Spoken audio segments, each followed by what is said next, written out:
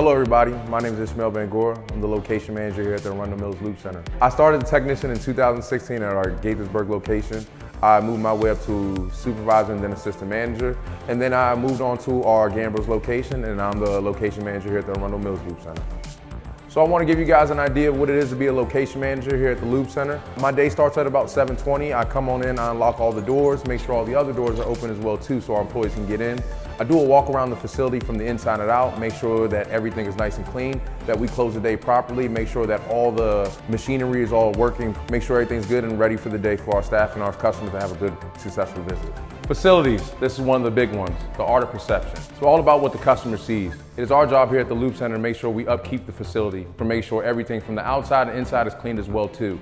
Want to make sure the floors are good, the irrigation system, the flowers, everything inside the facility and outside the facility is very clean.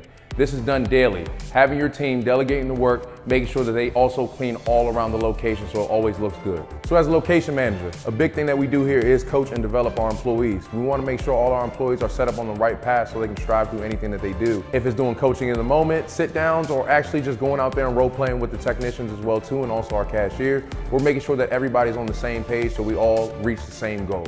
One of my favorite things about the job is talking to the customers, interacting with them, getting to know them, making sure that they know that when they come in here, their vehicle will leave out better than they came in. Administrative duties, paperwork. Usually want to take care of it at a slower time or after hours.